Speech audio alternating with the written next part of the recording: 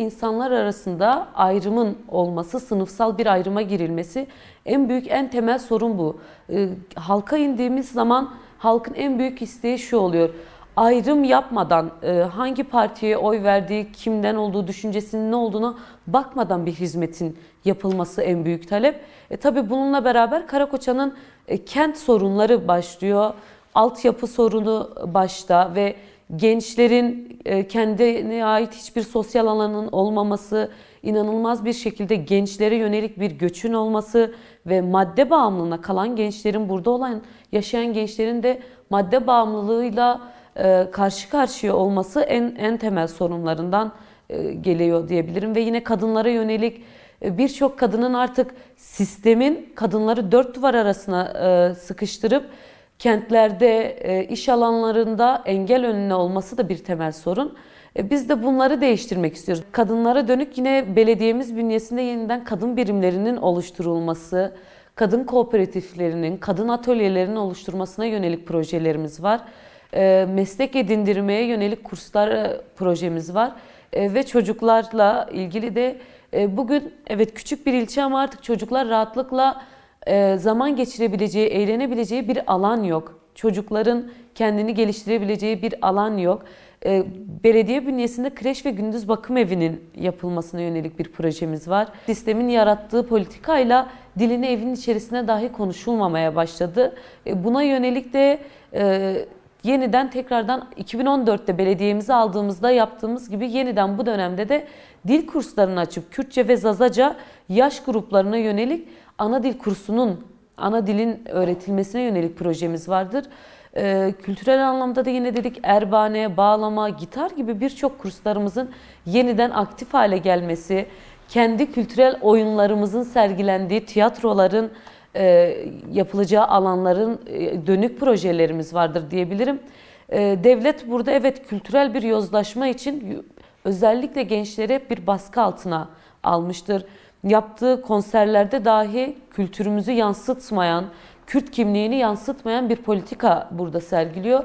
E, gençleri e, biz yeniden o yöne, gençler de tabii bu noktada direniyor, e, vazgeçmiyor. Biz de bununla yönelik onu tekrardan o coşkuyu, heyecanla projelerimizi hayata geçireceğiz. Gençler buradan giderken hem ekonomik kaygılardan kaynaklı ve hem siyasal e, olaylardan kaynaklı da bir göç var. Ama tabii ki bunu biliyoruz. Sadece bir ekonomik kaygı değildir buradaki göç. E, ekonomik kaygı ülkenin bütününde varken özellikle be, belli bölgelerde bu yoğun göçünün de e, buradaki halkın boşaltılması, burada var olan buralı halkın artık yok olmasına istemesidir temel. Ve diyoruz bizim Karakoçanlı birçok iş insanımız var.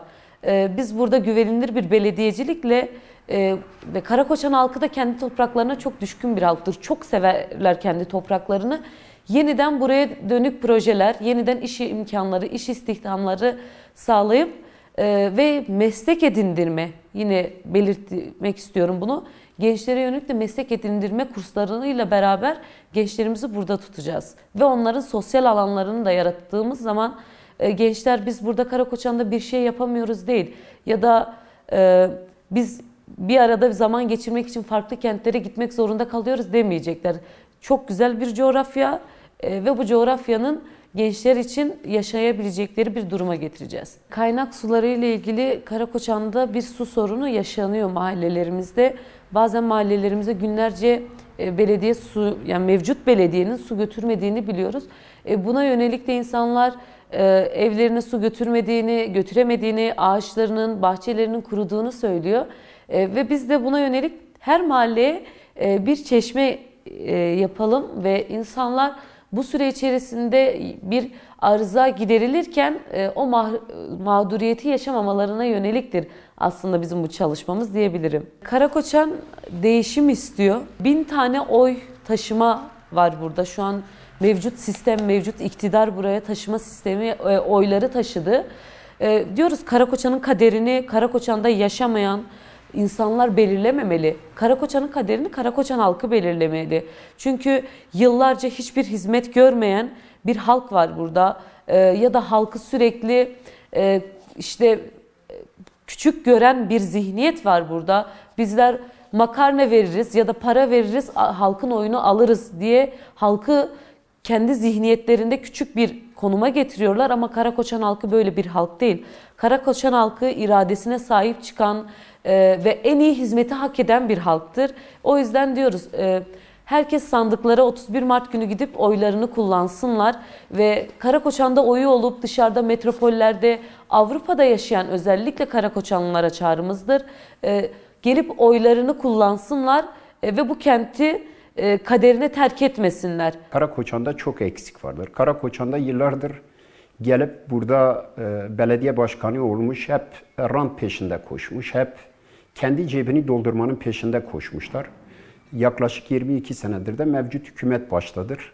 Bir buçuk senesi hariç komple zaten onlar gerek kayyum gerek onlar zaten farkları da yoktur. Kayyum zihniyeti aynıdır. Zihniyet çünkü aynı zihniyettir. Onun için Karakoçan'da yani e, var olan bir şey yok. Her şey eksiktir. Hiçbir şey yapmamışlar. Karakoçan'ın altyapısı büyük bir sorundur. Karakoçan'ın üst yapısı büyük bir sorundur. Kaldırımları, yolları büyük bir sorundur. E, halen günümüzde yani 2024 yılında yaşıyoruz. Sık sık ceren kesilmeleri oluyor. İnternet sıkıntıları oluyor. Bazen e, bir bakıyorsun internet oluyor, bir bakıyorsun olmuyor.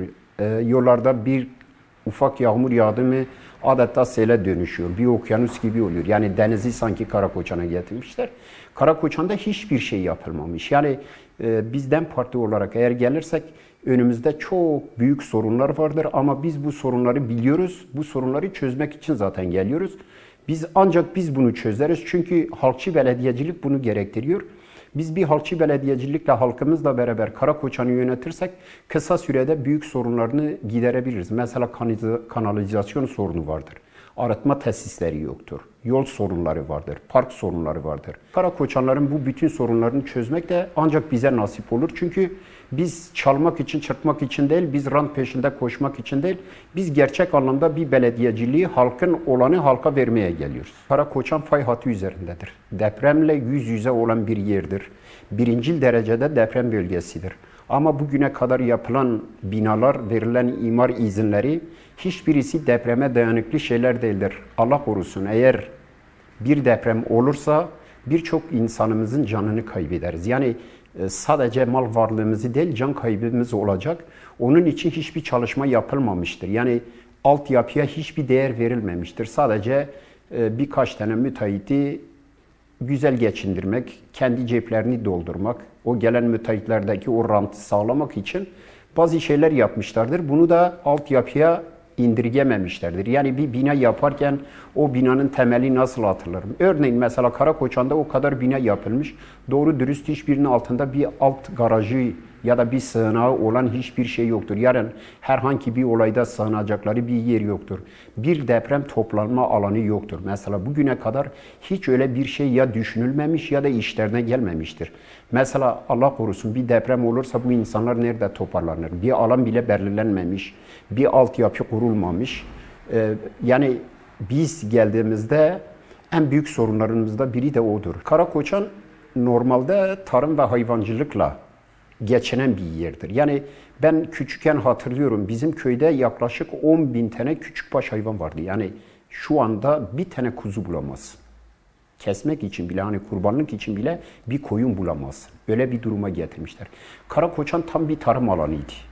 Her taraf şeker pancarı ekiliyordu, buğday ekiliyordu, arpa ekiliyordu, mısır ekiliyordu. Ama şu anda öyle yapmışlar ki tarımı bitirme noktasına getirmişler. Hayvancılığı bitirme noktasına getirmişler. Burası tam bir hayvan, bir tarımın bölgesidir. Hayvancılığın en üst düzeyde olduğu bir yerdir ama bunu hiç gele, yani önünü kapatmışlar. Kapattıkları gibi de insanlara engel oluyorlar. Bu yüzden insanlar tarımda, hayvancılıkta çok böyle uzaklaşmış. Bizim en büyük iddialarımızdan biri de odur. Tarım ve hayvancılığı tekrar geliştirmek, tekrar bu halkın hizmetine sunmaktır. Bu haramiler dışarıda çok asker, polis e, yani e, hayali seçmen getirmişler. Bu hayali seçmenlere karşı bizim mutlaka bir cevabımız olması lazım. Oyu burada olan bütün kara koçanlara çağrım şudur. Lütfen o gün gelin Karakoçan'ın iradesini Karakoçan'a teslim edin. Karakoçan'ın iradesini bir saatine gelip burada oy kullanacak Yozgatlı, Afyonlu, Ankaralı, Maraşlı bilmem nereli gelip bizim irademizi belirlemesinler. Biz ona en büyük cevabımızı onların hera, haram oylarına karşı helal oylarımızla cevap vereceğiz.